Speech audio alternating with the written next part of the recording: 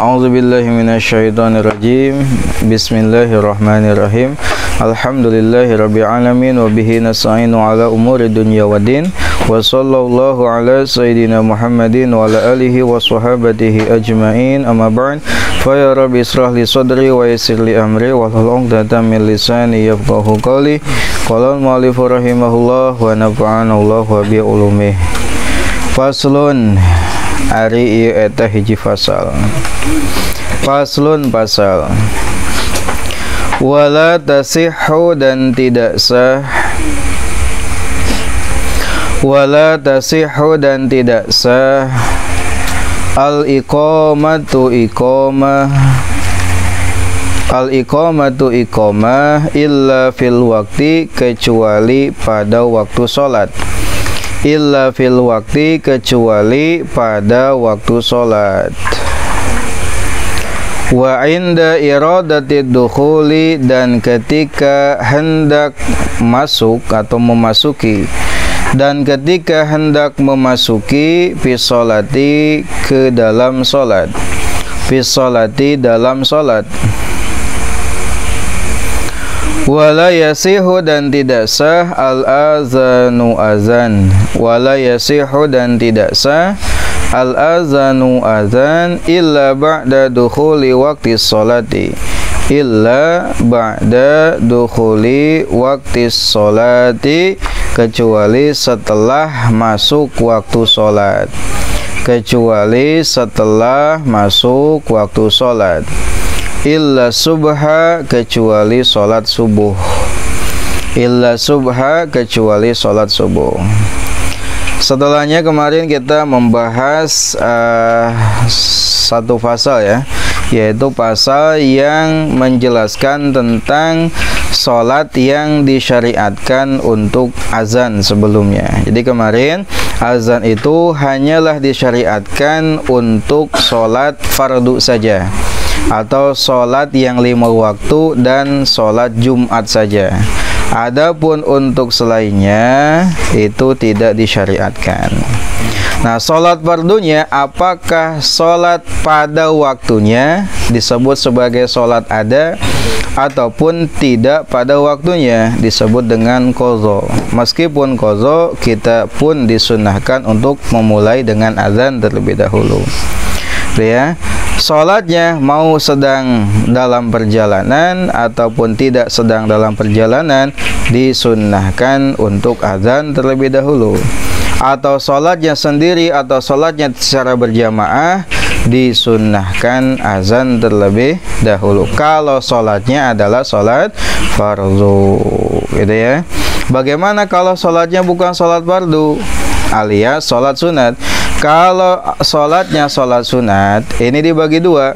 Ada sholat sunat yang disyariatkan berjamaah ada sholat sunat yang tidak disunahkan berjamaah. Kalau sholat sunat yang disunahkan berjamaah maka silahkan memulainya dengan nida. Tidak dengan komat tapi dengan nida. Nida itu panggilan untuk mengerjakan jamaah dengan lafaz as-salata jami'atan rahimakumullah seperti salat Id, salat gerhana, salat istisqa atau salat tarawih. Panggilannya bukan dengan komat memulai salatnya, tapi dengan nida. Gimana nidanya panggilannya? As-salata jami'atan rahimakumullah. Adapun sholat yang tidak disunahkan untuk berjamaah seperti sholat witir, sholat tahajud, sholat duha itu tidak disunahkan azan, tidak ikomat, tidak pula nida. Ya, itu adalah kemarin. Nah, sekarang kita akan membahas tentang syarat azan dan iqomah. Tidak sah hukumnya azan dan iqomat itu kecuali harus sudah masuk waktu sholat. Ya, jadi tidak sah azan atau komat dilakukan sebelum masuk waktu sholat. Nah, rinciannya kalau komat itu dikerjakan di dalam waktu sholat dan ketika hendak mengerjakan sholat yaitu pelaksanaan dari komat ya Nah, kalaulah adan dia dikerjakan setelah masuknya waktu sholat. Jadi tidak boleh dan tidak sah adan jika dikumandangkan sebelum masuk waktu sholat. Adan hanya boleh dikumandangkan ketika telah masuk waktu sholat Termasuk adan uh, pertama pada sholat Jumat Kan sholat Jumat itu sunat tuh Ada dua kali adan Adan pertama dan adan yang uh, kedua itu sebagaimana hasil ijtihadnya uh, Khalifah Utsman bin Affan dua kali adan Jumat.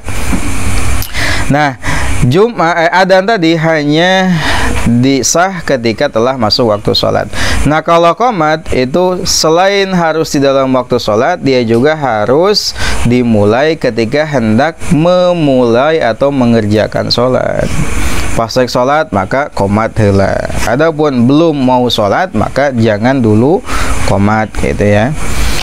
Nah, Fainahu karena sesungguhnya Fainahu karena sesungguhnya ya juzu boleh al azanu azan laha untuk subuh.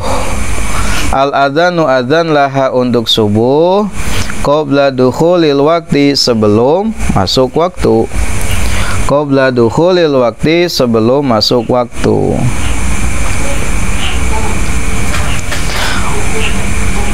Kecuali untuk sholat subuh. Tadi kan dikatakan adzan itu hanya sah jika telah masuk waktu sholat. Berarti kalau belum masuk waktu sholat, adan adan itu sah. Kudu diulangi deh. Kecuali satu sholat, yaitu sholat subuh. Nah, adapun sholat subuh ini boleh adan untuk sholat subuh sebelum masuk waktu akan tetapi bukan adan yang menandakan masuknya waktu sholat tapi adan yang pertama karena subuh itu ada dua kali adan. Adan yang pertama dan adan yang kedua. Nah kapan waktu adan yang pertama? Waktu lifa dan diperselisihkan. Waktu lifa dan diperselisihkan. Pil waktu tentang waktu. Fil waktu tentang waktu. Alladzi yajuzu yang boleh fihi di dalamnya. Alladzi yajuzu yang boleh fihi di dalamnya al adzanu adzan laha untuk subuh. Laha untuk subuh. Wal asahu dan pendapat yang paling soheh Wal asahu dan pendapat yang paling soheh Annahu sesungguhnya annahu sesungguhnya ya juzu boleh ya juzu boleh ba'dan nisfil laili. Ya juzu boleh adzan ba'dan nisfil laili setengah setelah pertengahan malam. Ba'dan nisfil laili setengah per, setelah pertengahan malam. Wakila dan dikatakan indah sahari indah sahari ketika waktu sahur Wakila dan dikatakan indah sahari ketika waktu sahur. Wakila dan dikatakan fi jami'il laili pada seluruh malam. Fi jami'il laili pada seluruh malam. Walaisa bisyai'in. Walaisa dan bukanlah bisyai'in apa pun. Artinya pendapat yang ini tidak dianggap sedikit pun. Pendapat yang sangat lemah. Walaisa dan bukanlah bisyai'in sedikit apa pun. Artinya pendapat yang jam'il lail sepanjang malam atau seluruh malam ini pendapat yang sangat lemah. Wakilah dan dikatakan Ba'da sulusai laili setelah dua per tiga malam. Ba'da sulusai laili setelah dua per tiga malam. Dua per tiga malam Os. Tadi kan subuh itu ada dua kali adan. Adan pertama dan adan yang kedua. Adan kedua hanya boleh setelah masuk waktu sholat subuh. Adapun adan pertama itu boleh sebelum masuk waktu subuh. Adapun waktunya ulama berbeda pendapat. Ada yang menyebut boleh adan yang pertama untuk sholat subuh itu adalah uh, setengah pertengahan malam. Berarti di jam 12 kadienakeun jam 12 jam 1 jam 2 jam tilu. Baik baik. Ya. Lamun di masyarakat anu ngertiin tentunya. Kudu ayah sosialisasi hela ya tong sampai ke tengah puting si dapa ngahurung sampai ke di karangayung Allahu Akbar Allahu Akbar. Ningali jam. Ah jam 12 geus adan jelema sugan teu eling nah paling nyebut teu eling ya gara-gara teu ngerti gara-gara teu nyaho padahal boleh. Adan untuk sholat subuh yang pertama itu di perteng setelah pertengahan malam gitu. Tapi kudu harapan heula masyarakatnya namun tak apalin bahaya mana bisa didatangan mau bedo gitu. Nah naon so nah tengah puting ada juga nu burung. Eh amang mah ngaji sugan gitunya tuh apa sugan menang mang adan setelah pertengahan malam untuk sholat subuh. Naminate adan pertama. Menang. Gitu. Oh gitunya jang. Mohon matakan ngaji atau mang meh apa nah gitu. Ya, ah, pendapat yang kedua adalah ketika waktu sahur. Waktu sahur itu waktu yang biasa uh, kita melaksanakan apa namanya sahur sebelum subuh. Berarti jam tilu atau jam setengah opat. Eh, nama dah subuhnya jam opatnya. Pokoknya sampai subuh lah. Waktu waktu sahur. Ada juga yang menyebut seluruh malam. Jadi untuk adzan subuh jam 10 petingnya menang gitu.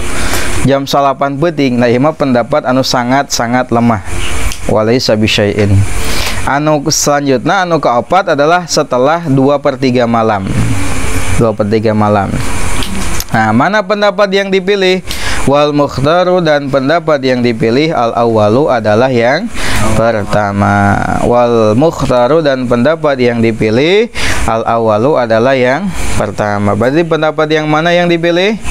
Yaitu setelah setengah malam. Jadi setelahnya jam 12 malam itu boleh waktunya untuk mengerjakan adzan subuh yang pertama gitu ya. Jadi semua sholat fardu adanya harus sudah masuk waktu sholat kecuali satu yaitu sholat subuh. Maka adan untuk subuh boleh dua.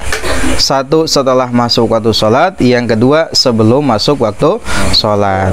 Nah yang sebelum masuk waktu sholat sebut disebut sebagai adan pertama. Waktunya menurut pendapat yang dipilih adalah setelah tengah malam. Silahkan adan paslun pasal paslun pasal menjelaskan tentang hukum adannya perempuan dan banci.